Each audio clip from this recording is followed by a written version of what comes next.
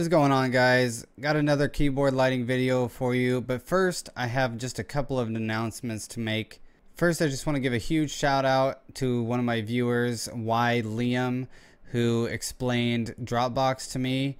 And I just want to thank him so much, and you guys should thank him as well. Because of why Liam, I am now able to add links to the descriptions of all my videos, and you guys can download my designs straight from Dropbox. Second, I also wanted to tell you guys that I just recently revived my old Razer DeathAdder Elite gaming mouse. So now I'll be able to put some keyboard lighting on my mouse as well. So along with my keyboard lighting videos, I will also have lighting for Razer mice. So without further ado, this video is about a Galaxy design on your Razer keyboard. So this design request actually came from a few different people. First one coming from a Normal Human who has two doggos. He said, can you make a Galaxy keyboard? Would be much appreciated. Also, just a few days later from Jorcraft, hey, your video is really great and I wonder, can you make the Galaxy effect for Razer Synapse 3 tutorial? And as a comment on Normal Human who has two doggos, Dylan R6 also says, yes, please. So it sounds like you guys really want a Galaxy design. So grab your keyboards and your mice and we're going to get right into it.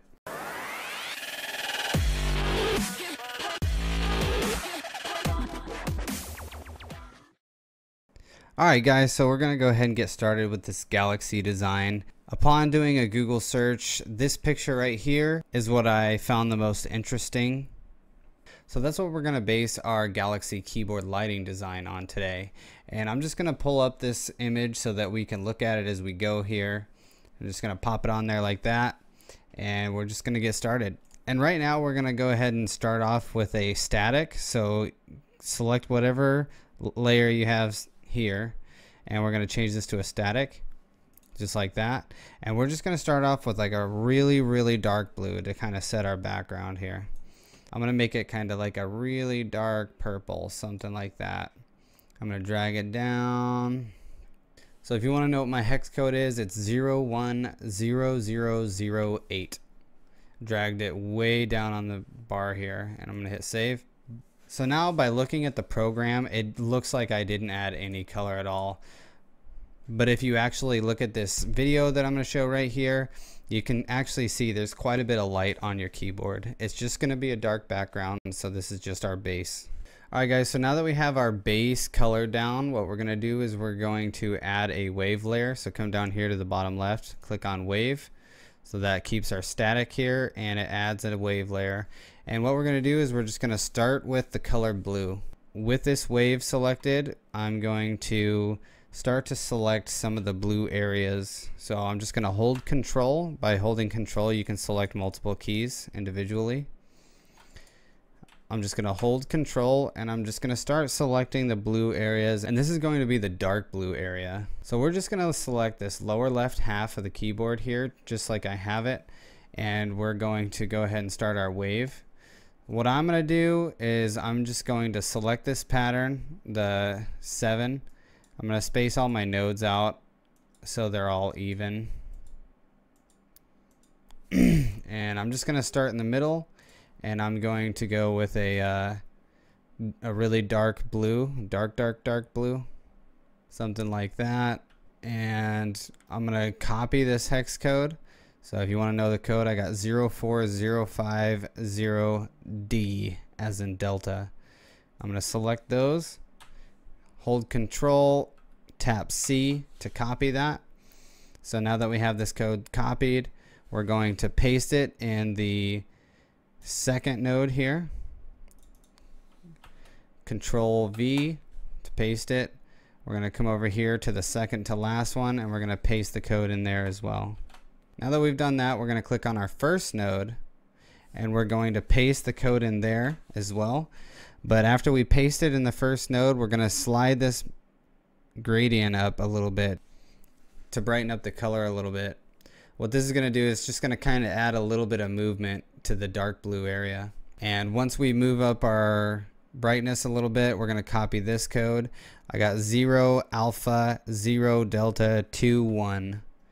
I'm going to copy that and I'm going to paste it in the third one, the fifth one, and the last one. So what that did is it just made this really dark um, blue gradient, but it kind of goes dark and lighter, dark and lighter, and dark and lighter, just slightly, just to add just a hint of movement. I'm going to change my angle down and to the left, just kind of going away from the middle of the keyboard. So as you can see in the preview here, I'm going to hit save.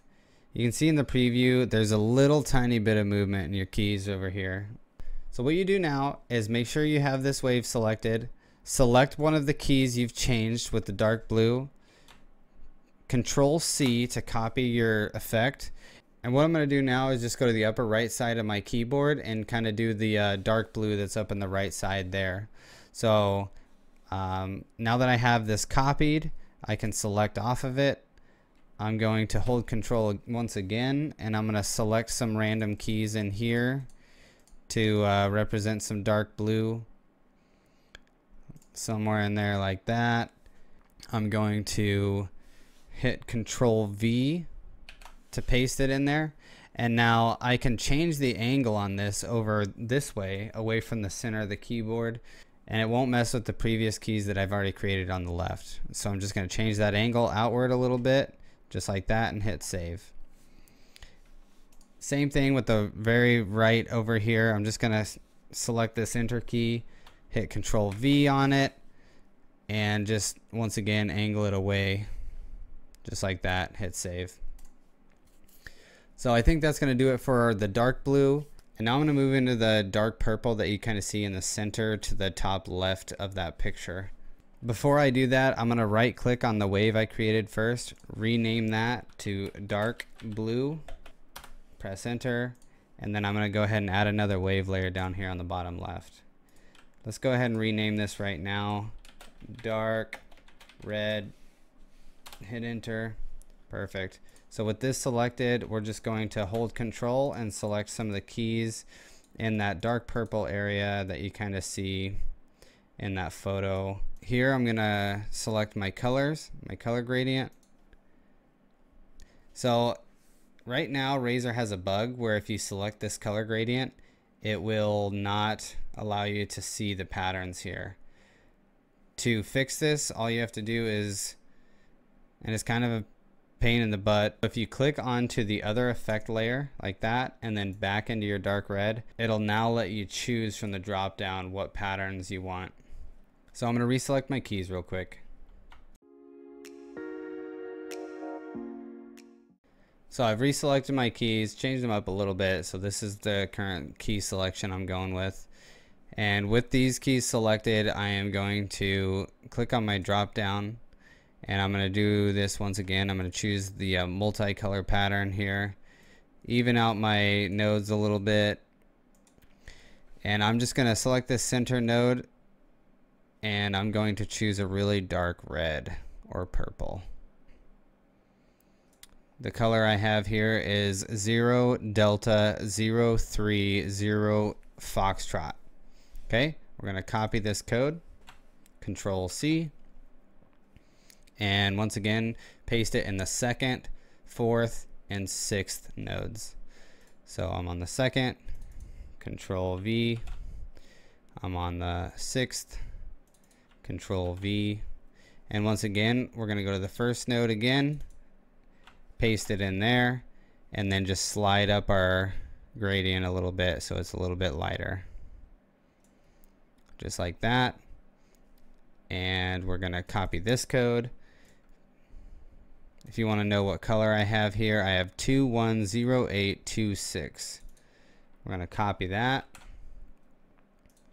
I'm going to paste it in here, paste it in this one,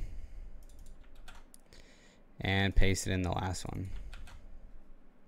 Just like that. So you can see I have a really dark purple and we're going to move it away from the center of the keyboard. I'm going to angle it up at 304 leave the speed at 15 that's probably okay you can change it if you want in fact I think I will change it down to like 11 make it a little bit different than the blue And we'll go 10. Something like that. Save. So now you can kind of see on my keyboard, I have some really dark blue movement away from the keyboard and some really dark purple movement also away from the keyboard. Alright guys, now that we have our dark colors done, we're going to start moving into a little bit lighter of the same colors. So what I'm going to do is I'm going to go ahead and I'm going to add another wave layer. Click on that wave layer. We're going to right click this, rename it light blue. Okay, so now that we have our new light blue effect layer created, let's go back and click on our dark blue, select a dark blue key, hit control C to copy it, go back to light blue here, make sure you have light blue selected, and we're gonna go ahead and select some of the keys that we're gonna make a lighter blue, okay? So here's our blue, lighter blue kind of keys. I'm gonna hit control V to paste those dark blues in there.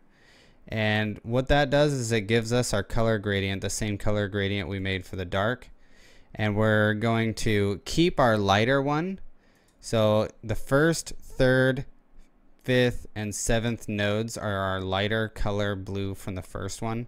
We're going to change the second node to a more extravagant blue, something a little more visible on the keyboard.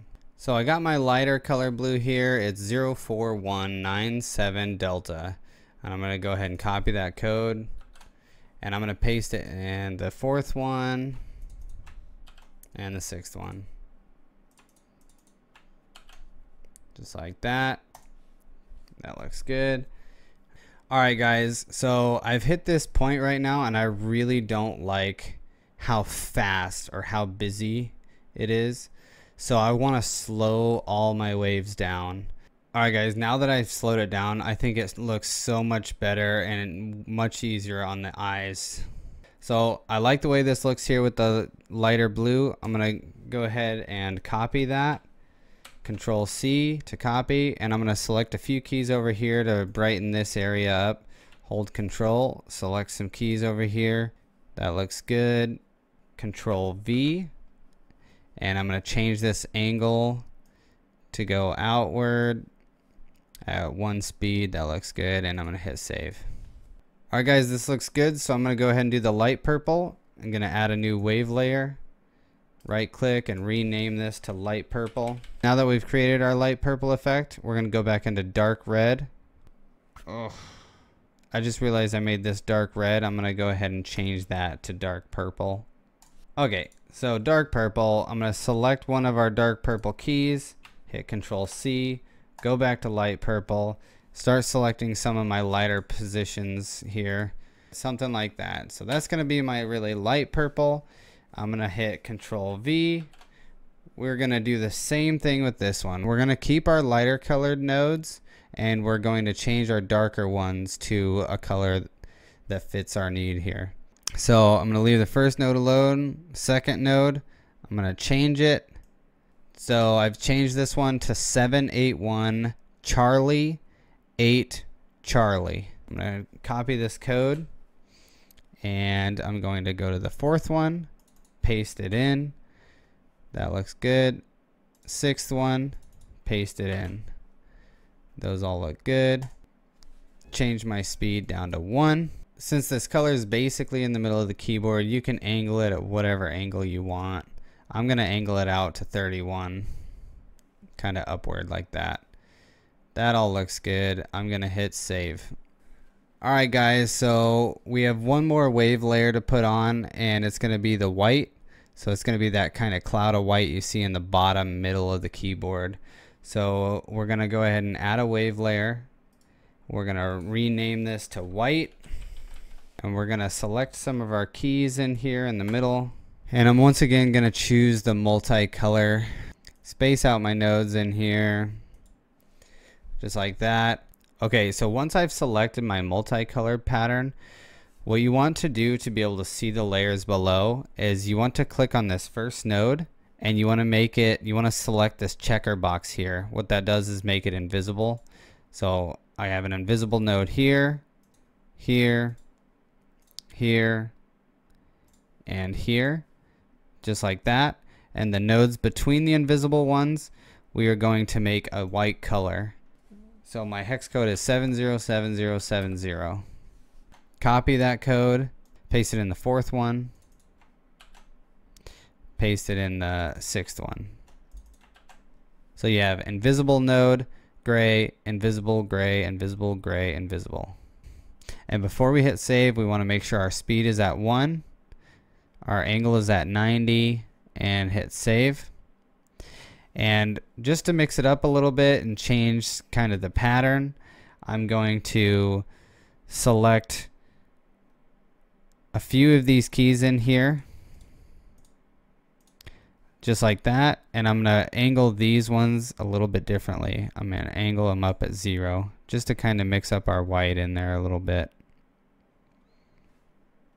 and I'm gonna hit save and then there's just one more effect layer we need to add to finish off this design and that is the last but not least starlight so we're gonna click on starlight uh, once our starlight is selected we're going to select all of our keys, including a Razer mouse if you do have a Razer mouse. And I'm just going to choose a white starlight to represent stars in my galaxy. So I'm going to go to a single color here. And I'm going to drag my color chart down here to the bottom. If you want to know the hex code, it's just all F's. F, F, F, F, F, F, F. Just like my report card in high school. I should not laugh at my own jokes. now that we have our color chosen, make sure your density is down all the way at 1 unless you want your keyboard to basically just be white. And you can put it on whatever speed you want. I'm going to keep mine on medium. So white color, 1 density, medium duration. Hit save if you have a Razer mouse, what you're going to do is you're going to put all of these colors into it. So let's click on our static, select our highlighted key right here, select the enter key, control C, and let's paste it on our mouse, hit save. Now we're going to go click on our dark blue. We're going to select one of our highlighted keys, copy, and when we paste this, we're going to change our speed to 24. Now that we've changed our speed to 24, we can add a one second pause, hit save, go to dark purple, click a highlighted key, copy, paste on our mouse, change our speed to 24, two second pause, hit save, light blue, click a highlighted key, control C, paste on our mouse, change it to 4 seconds, 3 seconds, change the speed to 24, hit save, light purple, select one of these highlighted keys, copy, paste on the mouse, speed 24, Pause for four seconds. Hit save.